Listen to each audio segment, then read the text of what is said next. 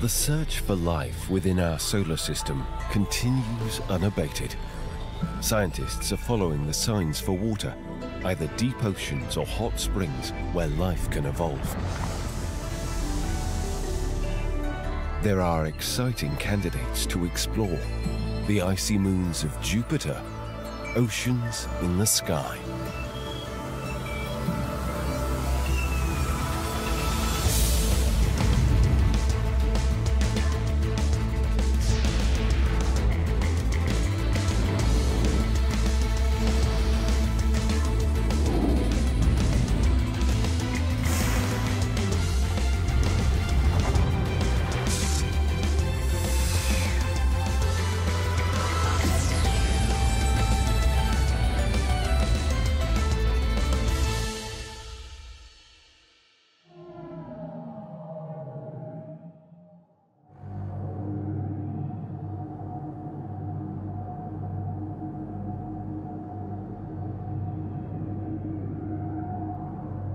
Orbiting the giant Jupiter are three prime candidates.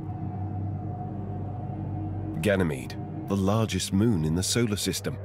Callisto, once thought to be dead, may harbor a salty ocean. And the active Europa, with its plumes of water erupting into space.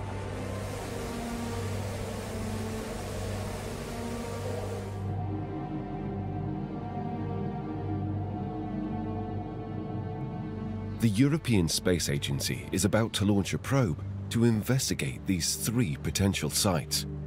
A daring mission called JUICE.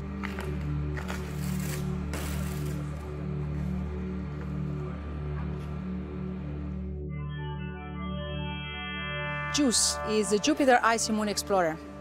So it's the first large mission of the Cosmic Vision program of the European Space Agency and has the uh, objective to study the Jupiter system and three of the Galilean moons, three icy moons, which are Europa, Galileo, uh, Ganymede, and Callisto. This mission is uh, of particular importance for the European industry because this is the first time that Europe is going to Jupiter. Uh, so we are uh, supporting the European Space Agency and beyond the European scientific community in their endeavor to go to Jupiter and explore Jupiter and their, uh, and their moons. The scientific objectives of JUICE are uh, multiple. So first of all, we have humanity always pose itself a question, are we alone in the universe? Is there life outside uh, Earth? To respond to this question, first we need to answer to another question. Are environments where life can be sustained before going and search for life? And this is one of the main objectives for JUICE, to search if on the environment, on the ocean world of Europa and Ganymede, there are the conditions to sustain life. Now, from the past missions, we know that some of these conditions are fulfilled, and we are want to and want to go with JUICE to investigate even deeper and to make sure that these conditions are uh, are there. And this condition as, for example, uh, there is water, there is liquid, liquid water, uh, there is a source of energy inside the planet, so there is energy. There are the um, chemical compounds which are needed to sustain life, the life as we know, so based on uh, carbon. Um, and is a protected, is a stable environment because it's under the crust of the, of the moons. So once these four elements are fulfilled, there is the probability that life will be sustained outside Earth is very high. The other objective of JUICE is to study the Jupiter system in its integrality, as seen as a miniaturized solar system, if you want. We have a, a gas giant with uh, bodies that go around the, around this body, and uh, studying the, inter, the interaction of the, um, of the gas giant with the, these bodies, we can understand better, for example, the development of our solar system, uh, how it was born, how it works, and etc. There's a way to make an entrance. My destiny. It was now a conspiracy of witches. Download Veely today. So JUICE is a very uh, exciting mission. So we are going to explore Jupiter in details. And in particular, I would like to know whether there are uh, conditions uh, hospitable for life around a gaseous giant like uh, Jupiter. And we are going to focus that on the three icy moons, which are Europa, Ganymede, and Callisto. And we would like to know uh, whether inside those moons there are conditions which are interesting for life and we are going in particular to, uh, to explore the, the liquid water which are underneath the crust of those moons. In the past, uh, there were other missions that um, passed, they analyzed the Jupiter system, uh, like jo uh, Galileo, for example, has given us important information to uh, build the JUICE mission. There is also Cassini that passed by that we gather a lot of data also from, uh, from it and also from observation from Earth, also observation from Hubble, for example, has provided us loads of data which are precious to, to build JUICE and to build also the profile of the mission, to know what we are going to, to study. We have in total 10 scientific instruments on JUICE. Uh, and basically we will, uh, we will observe Jupiter and, and, its moons in all possible wavelengths and, and type of observations that we can do. So we have a number of telescopes in all wavelengths, uh, visible, infrared, ultraviolet. Uh, we have a radiometer to sense the atmosphere, the structure of uh, winds of Jupiter and their moons. Uh, and we have uh, electric and magnetic sensors. Some of them will be deployed uh, at the tip of a magnetometer boom. So RIME is this big antenna that you see there deployed just behind us. Uh, it is a radar antenna that is working at a very low wavelength, 9 megahertz. So for that to happen, you need a very long piece of antenna uh, that will be able to sound very deep below the surface the, the internal structure of the moons, in particular Europa, Callisto and Ganymede. The objective is to try and locate the liquid uh, water ocean that is underneath the icy crust of these moons. As of today, we are still not sure how deep we have to we have to dig, let's say, to find this ocean, and this antenna will help us figure out at which depth we can find this ocean. At the moment, the uh, nominal science is foreseen to last four years. In these four years, Jupiter will make uh, all the investigation. It will uh, make some flybys of Europa, flybys of Callisto, and then we'll go into the details of the analysis of Ganymede. We stay around the, in orbit around Ganymede for uh, a good part of the uh, Jupiter tour.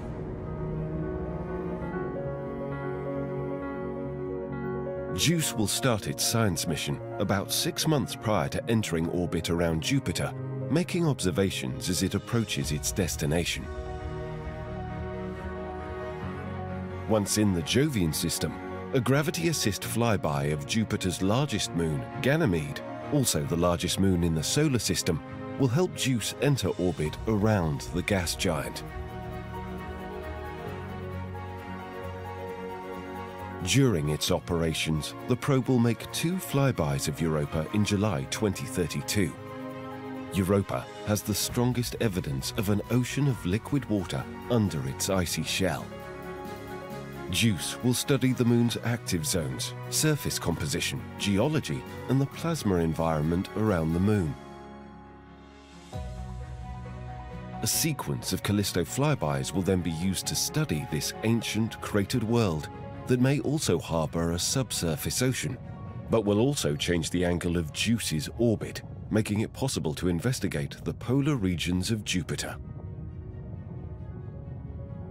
Now that the probe is fully assembled, it has to be thoroughly flight tested to ensure its survivability, because the giant's magnetosphere traps an intense and dangerous radiation environment. This milestone is very important because here we have the spacecraft. It's integrated, it's ready. We have all the 10 instruments are delivered, are there. All the platform units are there, the antennas is all in place. So the spacecraft is ready for the test campaign to verify finally that everything's work as expected within the performances they were expecting. And this is one year from launch. So this is a very important milestone. The spacecraft integrated is there, and we can carry on with the test phase.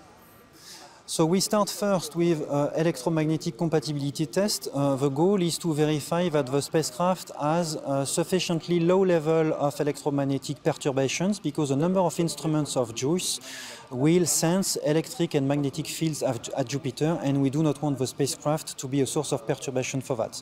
After that we will do a number of mechanical tests. It will be done over summer. Here the goal is to verify that the spacecraft can survive uh, the launch environment that will be imposed by Ariane 5 when we will launch to Jupiter. It is true that the JUICE spacecraft we, that we can see uh, on the background is going to be launched in space, meaning that it's not like uh, for aircraft. We can repair something uh, after a couple of hours of working. We need to make sure that before we launch, everything will work uh, properly as expected. And then there will be additional tests, like a vibration test, uh, including the, the, with the solar array, so that will be quite exciting. We have also what we call EMC test, so to make sure that the spacecraft is quiet from the electromagnetic point of view, it's very important for the science of the mission. And additional tests like communication between uh, the spacecraft and the ESOC flight control team that will need to control the spacecraft once it flies. So all these tests will take place in the coming uh, 10 months. And after that, uh, hopefully the spacecraft will be declared uh, ready for launch and we'll ship the spacecraft to uh, its uh, final destination on, on, Earth, which is the French Guiana spaceport. Replicating the environs of space is no easy task here on Earth. At ESA's test center, ESTEC, in the Netherlands, is the Large Space Simulator, which can model the vacuum of space and simulate both the extreme heat and cold of deep space. It is Europe's largest vacuum chamber, and its internal black panels, which are filled with liquid nitrogen, were used to cool the environment down to around minus 180 degrees Celsius. To test against extreme heat, lamps are used to raise the temperature up to 250 degrees Celsius. JUICE, in order to fly to Jupiter, will do some gravity uh, assist around uh, several planets, among them the Earth and Venus, where, which is very uh, close to the Sun. And in fact, all the um, electronics inside uh, the spacecraft uh, are supposed to, to work properly in a certain range of temperature and the thermal design of the JUICE spacecraft aims at protecting this unit from the very harsh environment, cold or hot, uh, for this unit in order for them to work properly when we will uh, start to do science at uh, the Jupiter moons. To reproduce the, the heat side of space, eh, so when we go close to the sun, we simulate the sun. And in order to do so, we have a, a set of lamps, very powerful lamps that are reflected in 20, 121 mirrors that can be uh, reconfigured depending on the mission characteristics. And in the, this case, we simulate the heat of the sun while the space, spacecraft goes through Venus. Uh, why Venus? Because the, the JUICE mission is doing a flyby in Venus before going uh, finally to, to Jupiter. Yeah, so when I saw JUICE going to the space simulator, I had a mixed feeling, of course, because it was a very uh, scary moment. You're, it's a little bit like your baby spacecraft, so uh, you're a bit scared that uh, something will go wrong. But at the same time, you know that the, the team, in particular, the test center people, they know what they are doing, so it's a quite a secure uh, activity. So it was a mixed feeling, but you always feel nervous when you see the spacecraft uh, going into the large space simulator. And in addition to that, we have also some requirements coming from the environment itself of Jupiter, like temperature and radiation. Jupiter is a very aggressive radiation environment that is doing, that is making the whole uh, design of a spacecraft even more complex.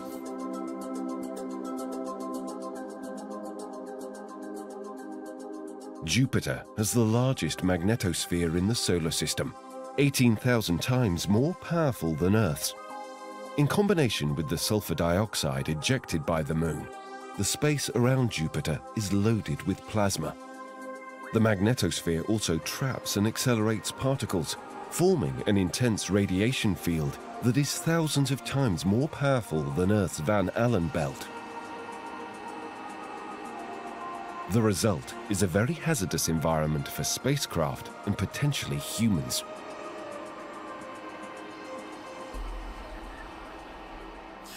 After that, we will also uh, test the propulsion system in order to be sure that it is uh, leak tight and fully operational when placed into a flight configuration. We will do a second thermal vacuum test uh, in a chamber very close to this facility in October in order to verify in pressure and temperature conditions and full flight configuration that the spacecraft uh, is behaving nominally in all functions. And finally, after having tested the spacecraft in all these variants and environments, we will verify a last time that uh, from a functional perspective, the spacecraft behaves nominally and is ready for shipment to the launch site. That launch site is Europe's spaceport in Kourou in French Guiana, where the venerable Ariane 5 will lift JUICE into space. It will also be the final launch of the Ariane 5 rocket series, one of the most reliable launch systems, with 112 launches and just five partial or complete failures. The Ariane 5 heavy lift vehicle has launched many of the most important space probes, including the Rosetta mission and most recently the Webb Space Telescope.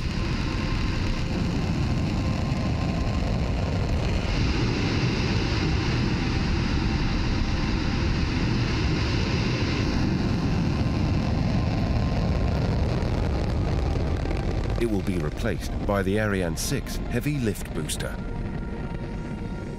JUICE will be launched uh, next year in 2023 uh, in April, the beginning of April. The launch window will open on the 5th of April and will stay open for about three weeks because of uh, celestial uh, uh, mechanics. And then the spacecraft, will, before being injected into the, tra uh, the transfer orbit to Jupiter, will have to uh, acquire more speed, and we will need to do a certain amount of gravity assist, assist to the inner uh, planets of the solar system. We will do a gravity assist, which will be a first, which will be a uh, moon, Earth gravity assist, then there will be a Venus gravity assist, other two flybys of, of Earth, and then we'll be projected to the insertion orbit to Jupiter for other two years. So overall, it will take about eight years to get to Jupiter. The gravity assists. 25 in total will allow the probe to gain the necessary speed to reach its final destinations without consuming the 3,000 kilograms of precious fuel reserved for course corrections and orbital insertions. JUICE will arrive at Jupiter in 2031, followed by a proposed orbital insertion around Ganymede in 2034, all part of the European Cosmic Vision Programme. The Cosmic Vision Program has uh, objective of studying also outer worlds, so it will be complementary to future mission, to, act, to mission in currently in development, like uh, Plato, like uh, Ariel, like Smile, and, uh, and be complementary with the future missions. There will be Envision for the study of, of, Venus, with Athena, for example, for the study of the, uh, of the universe, with uh, LISA for the study of the uh, gravitational waves. So it will be complementary to have a full and round information on the on astronomy and planetary, uh, planetary science. And it will be also part of uh, the inspiration that the Cosmic Vision program wants to transmit to, to the scientific community and to the public.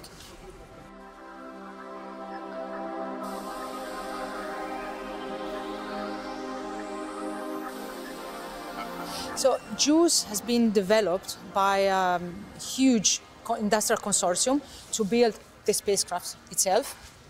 So in particular, uh, we have Airbus France, which is the main contractor to build the spacecraft, and uh, which is made uh, 90, 95% by European companies. It's about over 100 companies uh, from Europe and about the 5% of contribution from uh, United States. Uh, the uh, JUICE embarks 10 uh, scientific payloads and the payloads um, are con the contribution from uh, leading funding agency, which are the space agencies. So in particular, we have CNES, uh, there is uh, the Italian Space Agency, DLR, German Space Agency, uh, there is the UK Space Agency, Swedish Space Agency, and we have also also contribution, on an instrument, another contribution from NASA. as well as from JAXA, uh, and also from the Israeli Space Agency. And each of these uh, scientific consortium is built by other institutions from uh, as well over, over Europe. So we have also contribution from Austria, from Belgium, from uh, is, is a European-wide uh, consortium.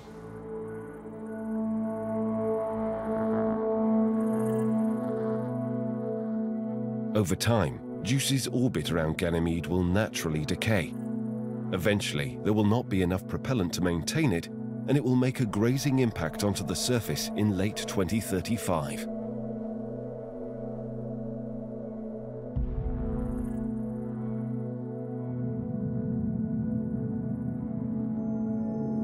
JUICE will not be alone in its mission. NASA is also launching a probe to the same local. However, its primary goal will be to study Europa exclusively. The mission is the Europa Clipper.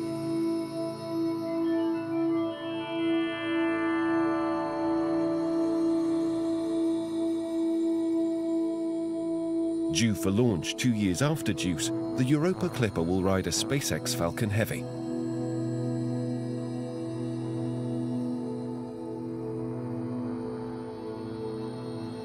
This time, the probe will utilize Mars for a gravity assist in 2025, then Earth a year later, arriving in the Jovian system in 2030, a year ahead of JUICE.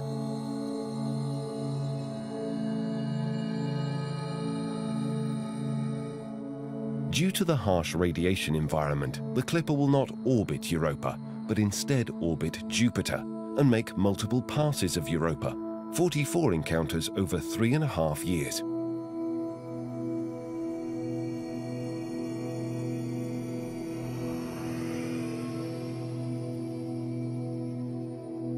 Utilizing the other Jovian moons for gravity assists the Clipper, which will adjust its orbit to pass by Europa and various altitudes from 2,700 kilometers to a mere 25 kilometers, where it will be able to pass through the water plumes erupting from the surface.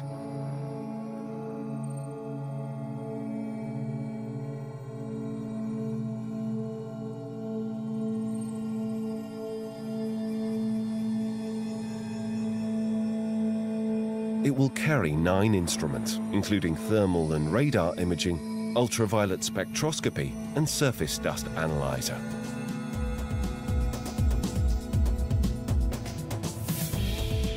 This allows us to have a mission that's many years long and to collect and transmit lots and lots of data.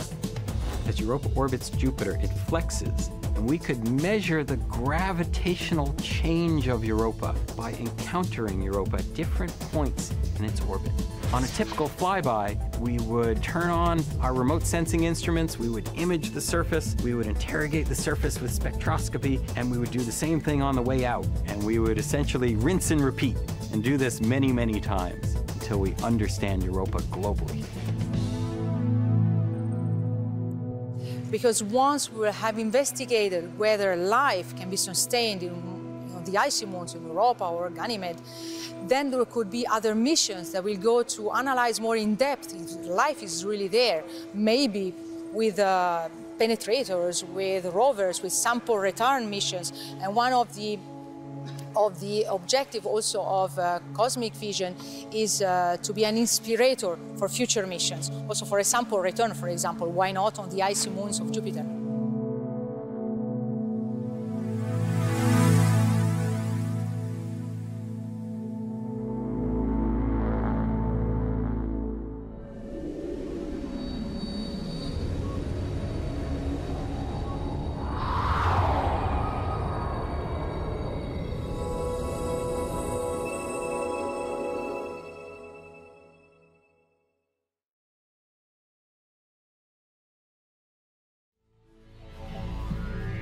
It is one of the most complex and sophisticated scientific instruments ever built. It is orbiting our Sun a million kilometers out in space in temperatures of minus 266 degrees Celsius. It is a time machine that will peer deep into the past and reveal unexplored reaches. And it will be our key to understanding where we fit in this enormous universe.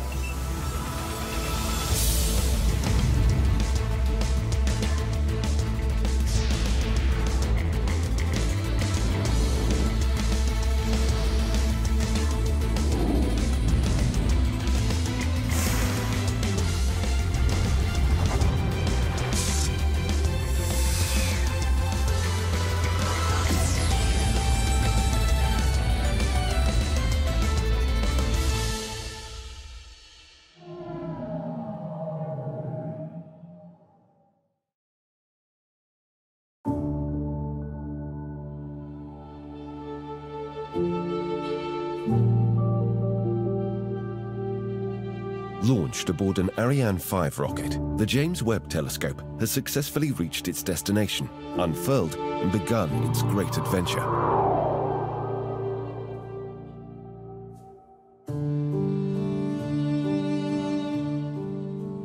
Hubble revolutionized astronomy. Hubble showed us the early universe, Hubble showed us what the universe works like. And as these revolutionary findings came along, people realized we need a next generation space telescope. This was 25 years ago. And this is how Webb came into being. Now, you can see 25 years of development time. This is not unusual for a large space mission from the first idea to fruition, to the launch. And this is why these missions are really once-in-a-generation launches. We are witnessing something particularly special that an astronomer typically gets to witness once, if they are lucky, twice in their entire career. James Webb Space Telescope is a collaboration between NASA, ESA and the Canadian Space Agency. So altogether that's 24 countries, lots of industrial companies, academic institutions, universities, and thousands of scientists across the whole world are now waiting to use the telescope.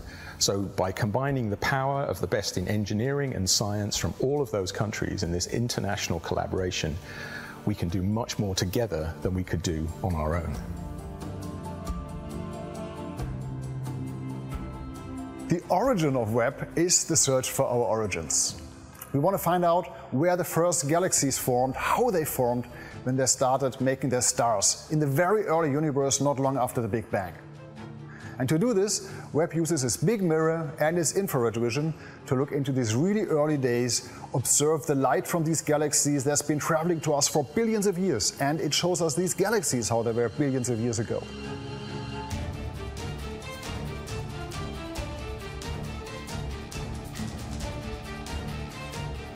Sure, so infrared is a longer wavelength than visible light. So we can't see infrared, but James Webb can. Um, and what's important about an infrared telescope is it allows us to see through clouds of gas and dust and see the planets and stars and galaxies that are beyond.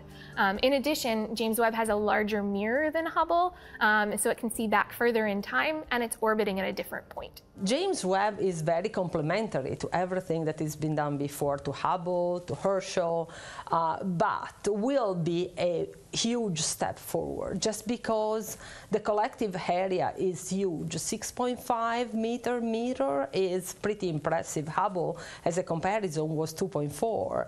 So we're talking of a collective area which is much bigger, much more sensitivity. We say 100 times more sensitive.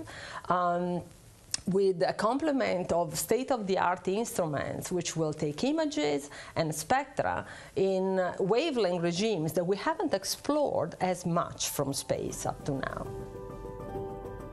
The telescope houses four scientific packages. MIRI, a mid-infrared instrument, the near-infrared NIRCam, NIRSpec, a spectrographic analyzer, and the nearest imager and guidance sensor.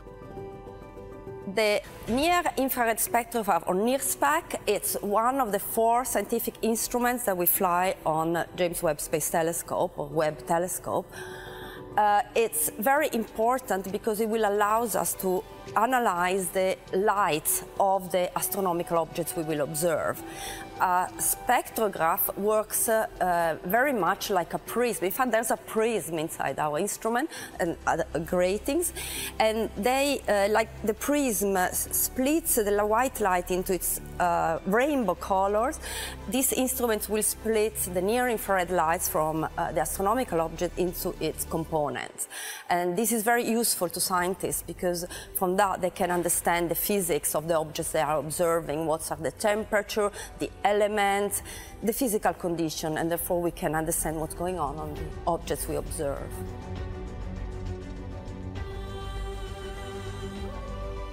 So we will observe all sorts of astronomical objects, from galaxies, and the focus is very much on very far away galaxies, galaxies that are 13 billion light years away from us, so uh, um, back in the far past, that they were forming soon after the Big Bang, from a very we call nearby objects, which are not really nearby, but they are exoplanets in stars around our, uh, our neighborhood, the neighborhood of the solar systems in our galaxy. Um, so this is the the type of objects we will observe and uh, uh, investigations, it's about uh, understanding what are the atmospheric condition on the exoplanets or what are the physical condition of the galaxies we observe far away.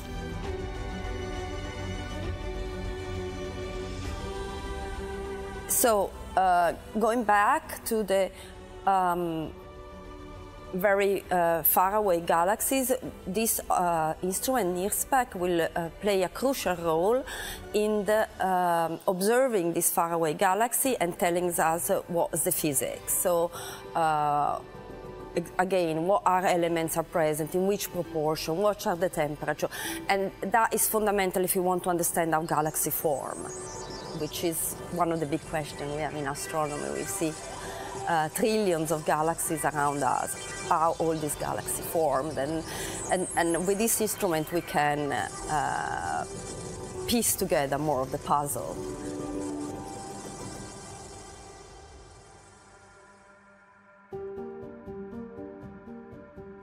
It complements the other instrument because of its function of a spectrograph. So on uh, the Webb telescope, we have cameras, uh, um, other type of spectrograph, one particular MIRI, which is also a, a um, partially European instrument, which will focus on the mid-infrared light.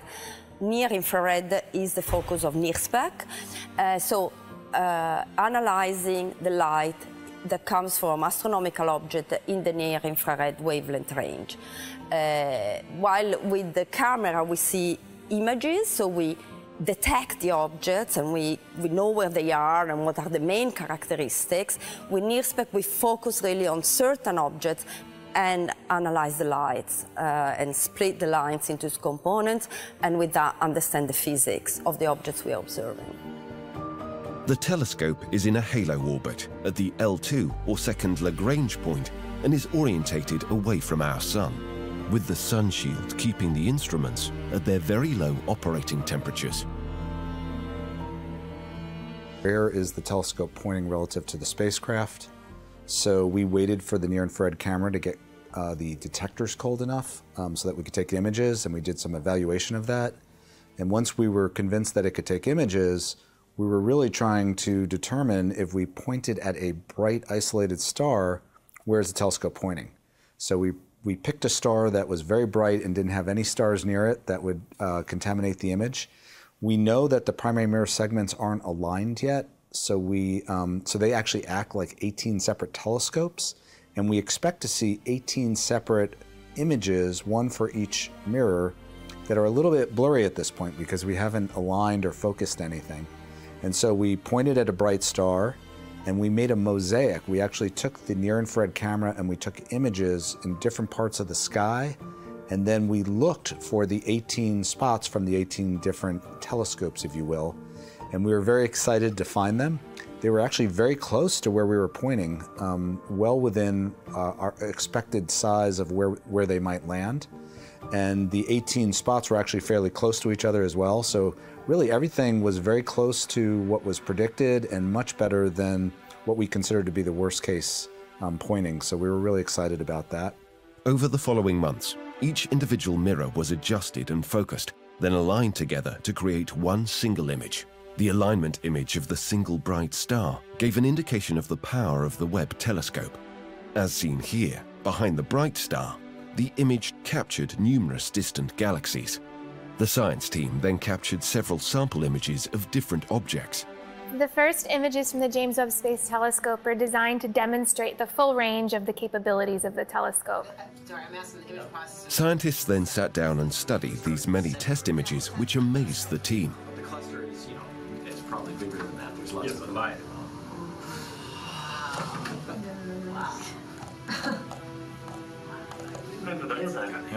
Yeah. yeah. But I think when you stretch the background,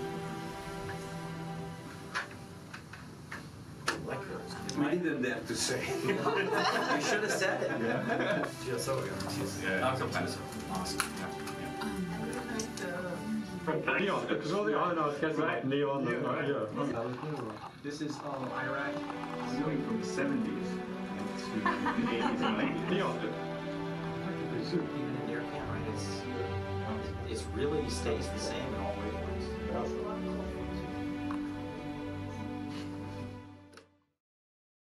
We're seeing a sample of the amazing science that Webb will be able to do over the coming years. Remember, it's just a sample. Uh, so we are seeing scenes and vistas from across the universe, you know, toward the first galaxies, uh, to stellar birth and stellar death. Um, and we're seeing uh, an exoplanet spectrum for the first time with Webb showing water or steam in its atmosphere.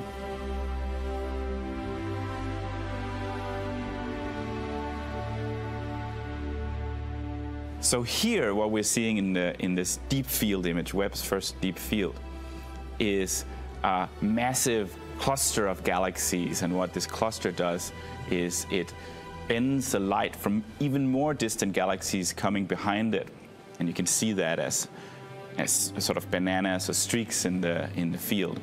And this field allows us to look for some of the very first luminous structures in the universe the first stars and galaxies. Uh, and this was one of the reasons that Webb was originally built.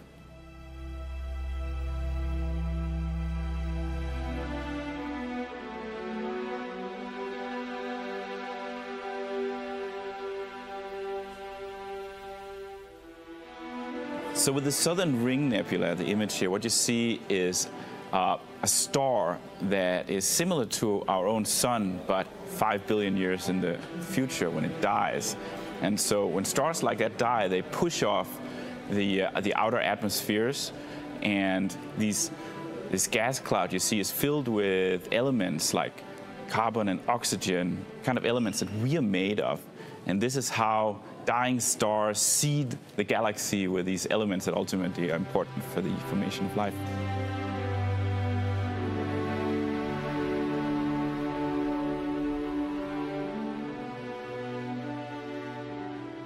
So here we are seeing uh, a small group of galaxies that what we call interact, they're actually colliding with each other.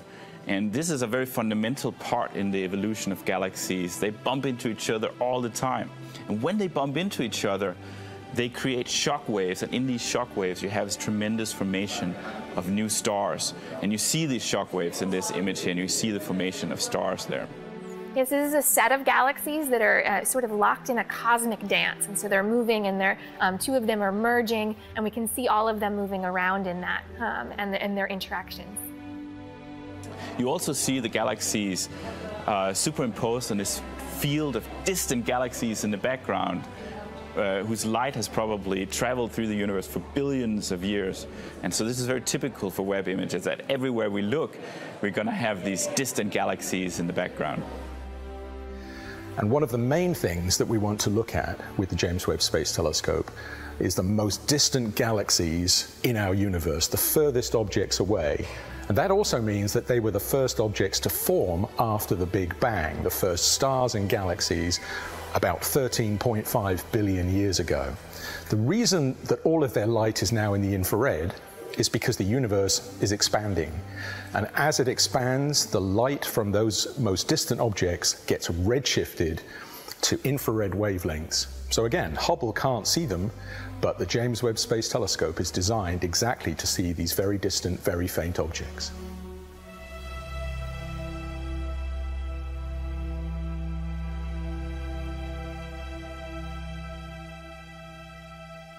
Those emission lines, yeah, yeah, yeah. Oh yeah, this, this, is such a beautiful image and maybe my favorite.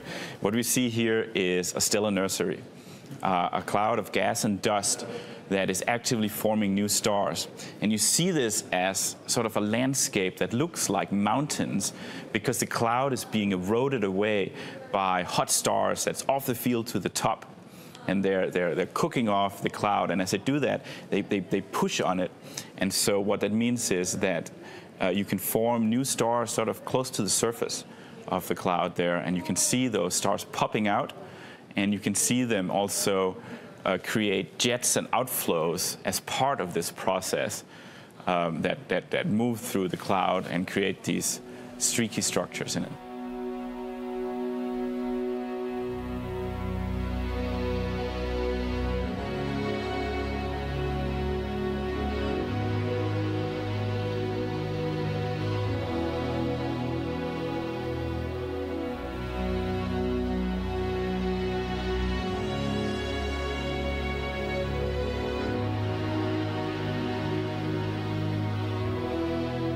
In comparison, the Hubble imagery here captures the visible light.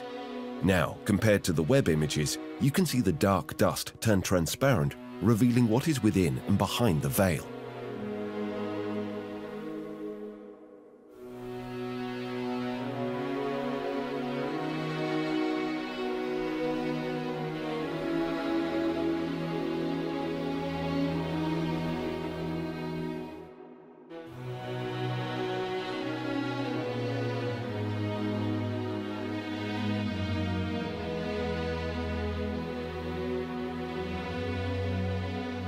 I'm really excited about James Webb and the spectroscopic capabilities.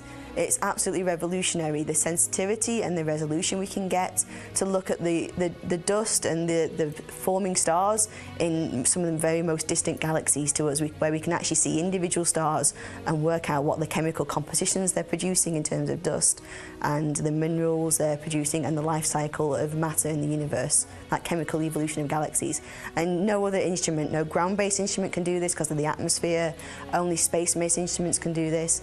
And previously, the previous generations have been so small, they've been able to only look at galaxies in the Milky Way or very, in the Magellanic Clouds. But James Webb will be able to push that envelope out to lots of galaxies in the local group, and so we can look at very difficult, different formation scenarios towards the early universe. So that's what I'm most excited about, is these dying stars and forming stars.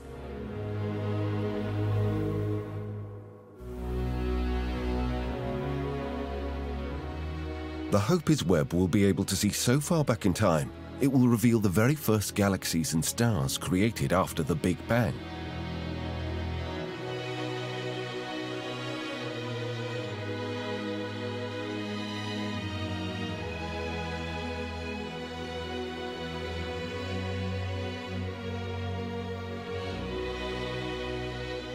Lots of big questions.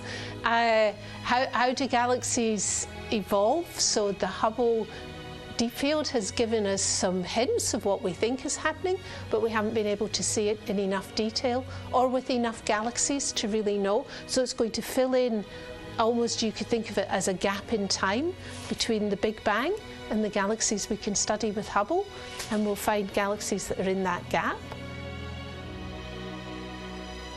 This image is of the spiral galaxy IC 5332, which is over 29 million light years away. The infrared Webb sees through like an X-ray into the interior structure of the galaxy.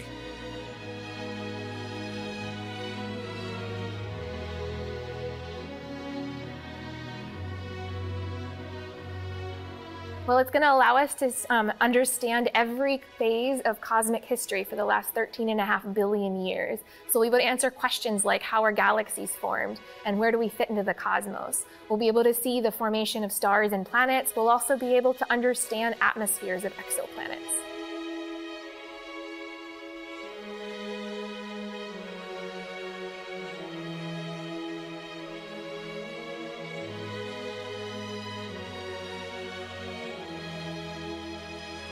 The James Webb also captured images of local residents in our own solar system.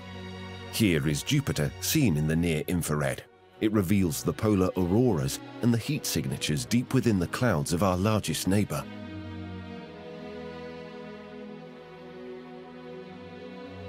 Here is Neptune as never seen before, its rings clearly visible along with several of its moons. The most prominent features of Neptune's atmosphere in this image are a series of bright patches in the planet's southern hemisphere that represent high-altitude methane ice clouds. More subtly, a thin line of brightness circling the planet's equator could be a visual signature of global atmospheric circulation that powers Neptune's winds and storms.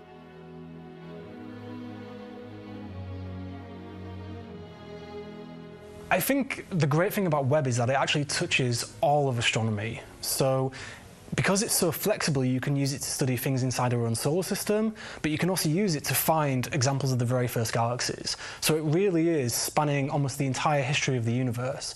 So it's really going to be transformative to lots of different areas.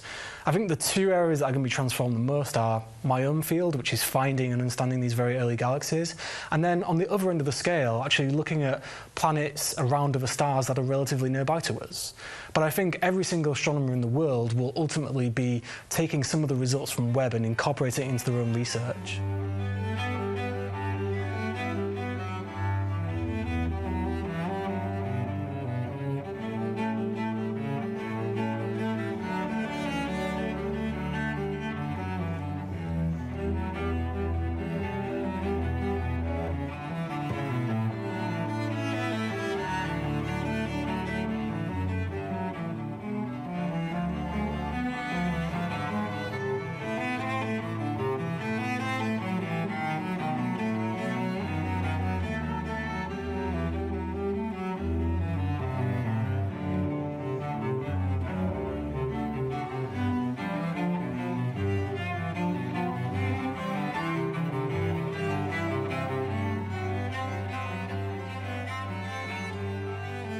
Astronomers have made giant steps in our understanding of the universe over the past decades, but there remains much to learn about our cosmic origins, and the range of questions waiting to be answered is causing high expectations.